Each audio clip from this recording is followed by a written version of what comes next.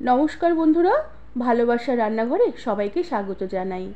আজ আমি আলু আর বেগুন দিয়ে পুকুরের জ্যান্ত রুই মাছ বানাবো। রেসিপিটি ভালো লাগলে একটি লাইক, শেয়ার আর সাবস্ক্রাইব করে দেবার অনুরোধ রইল।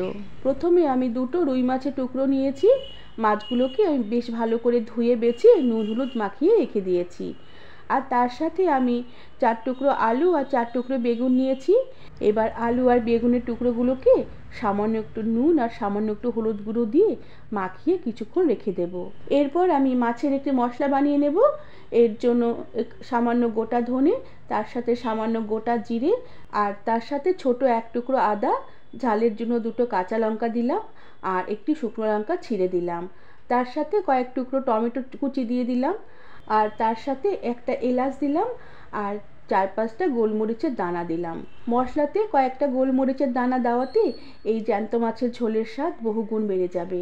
এবার এই মশলাগুলো আমি শিল্পাটায় বেশ মসৃণ করে বেটে নেব। এরপর আমি মাছগুলো ভেজে নেব। এর জন্য কড়া বেশ ভালো করে গরম করে নিয়ে কড়াতে পরিমাণ মতো সাদা তেল বেশ ভালো করে গরম করে কড়ার চতুর্দিকে ছড়িয়ে দিলাম। এরপর নুন হলুদ মাখানো আমি রুই মাছের টুকরোগুলো কড়াতে দিয়ে দিলাম। আর মাছগুলোর এক পিঠ হালকা ভাজা হয়ে আসলে মাছগুলোকে আমি উল্টে দিলাম। আর এভাবে মাছের দু পিঠ হালকা লাল করে ভেজে নেবার পরে মাছগুলোকে কড়া থেকে উঠিয়ে তুলে রাখলাম। এবার এই মাছ ভাজার তেলেই আমি একটি তেজপাতা ছিঁড়ে ফোড়ন দিলাম আর তার সাথে খানিকটা গোটা জিরে ফোড়ন দিলাম। ফোড়ন হয়ে আসলে নুন, হলুদ মাখানো আলু আর বেগুনের টুকরোগুলোকে তেলে ছেড়ে দিলাম।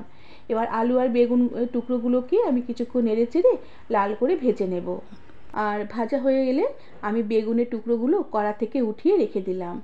এরপর এই কড়াতে আমি বেটে রাখা মশলা দিয়ে দিলাম। মশলার সাথে মশলার বাটি ধোয়া সামান্য একটু জল দিয়ে দিলাম। আর তার সাথে সামান্য একটু কাশ্মীরি লঙ্কার গুঁড়ো দিলাম। এতে মাছের ঝোলের কালারটা বেশ ভালো আসবে। সাথে পরিমাণ মতো নুন দিলাম আর পরিমাণ মতো হলুদ গুঁড়ো দিয়ে দিলাম।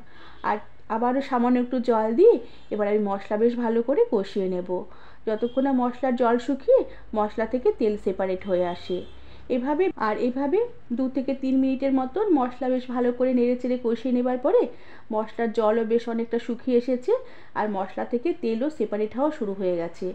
এবার আমি এই মশলাতে ঝোলের জন্য শিলপাটা ধোয়া জল দিয়ে দিলাম, যাতে আলুটা তাড়াতাড়ি সেদ্ধ হয়ে যায়। আর ঝোলটা একটু ফুটে উঠলে গ্যাসের আঁচ কম করে দিয়ে, ঢাকা দিয়ে প্রায় পাঁচ থেকে ছ মিনিটের মতন আমি আলু সেদ্ধ হওয়ার জন্য ঝোলটাকে ফুটিয়ে নেব। আর এভাবে মিনিট পাঁচ ছয়েকের মতন কম আঁচে ঝোল ফুটিয়ে নেবার পরে আমি ঢাকনা খুলে দিলাম। ঝোল ফুটে বেশ অনেকটাই ঘন হয়ে এসেছে আর আলুগুলো বেশ সুন্দরভাবে সেদ্ধ হয়ে গেছে। এবার আমি এই ঝোলে ভেজে রাখা মাছগুলোকে দিয়ে দিলাম। আর তার সাথে ভাজা বেগুনের টুকরোগুলোকেও দিয়ে দিলাম। সাথে একটা চেরা কাঁচা লঙ্কা দিয়ে দিলাম, এতে মাছের ঝোলের গন্ধটা বেশ ভালো আসবে।